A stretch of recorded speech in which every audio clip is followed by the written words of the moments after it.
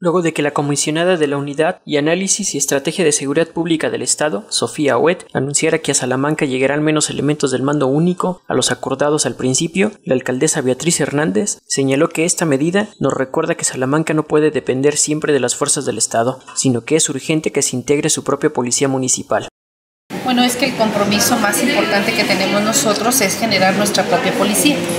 Entonces ya a la suma de los diferentes elementos que estarán llegando de las diferentes corporaciones de seguridad, eh, se consideró esa parte. Sin embargo, si hemos, eh, esperemos que siga habiendo mayor apoyo de parte del Estado, que es una de las eh, órdenes que da la propia Constitución en materia de subsidiariedad.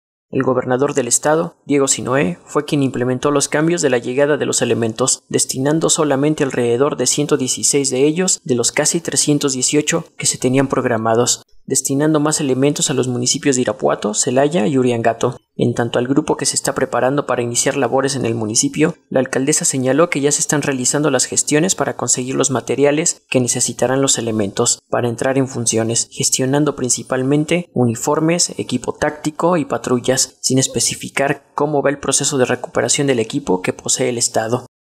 Estamos en ese proceso justamente para que la infraestructura que llegue a nuestro municipio pues sea acorde a las necesidades por un lado. Por el otro, bueno, ya tenemos un grupo de policías que ya los estamos integrando nosotros a los cuerpos de seguridad del municipio y están ahorita en un proceso de inducción, de una capacitación de inducción. Estamos en el proceso de la adquisición de ello, justamente los recursos de Fortasec van a implementarse en esas áreas. Beatriz Hernández señaló que se continúa en espera de la llegada de 200 elementos de la Policía Federal y los 400 de Policía Militar, que respaldarán las acciones de seguridad y serán coordinados para generar estrategias de acción junto a la FESPE y los cuerpos de la Marina. Tenemos nosotros eh, el anuncio de que en Salamanca va a haber alrededor de 400 elementos de la Policía Militar. Ya se encuentran instalados de manera permanente un grupo importante. Entendido que ya se están instalando eh, la diferencia para que se cumplan esas 400 personas. La alcaldesa resaltó que una de las principales encomiendas será que estos elementos sirvan en función de la proximidad con la ciudadanía.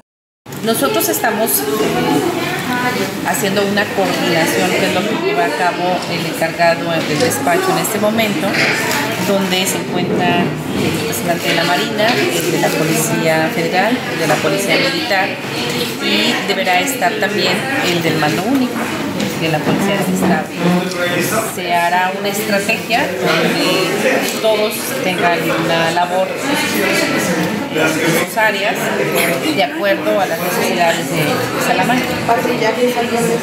Seguramente yo lo que estoy insistiendo y lo que más me importa es que haya cercanía con la ciudadanía. Nosotros necesitamos que la policía, ya sea la del Estado, que ese va a ser una de sus funciones más importantes, que caminen en la ciudad y que puedan tener interacción con los ciudadanos. Con información e imágenes de Noreima Castillo del Salmantino, informó para TV Libertad Antonio Barajas.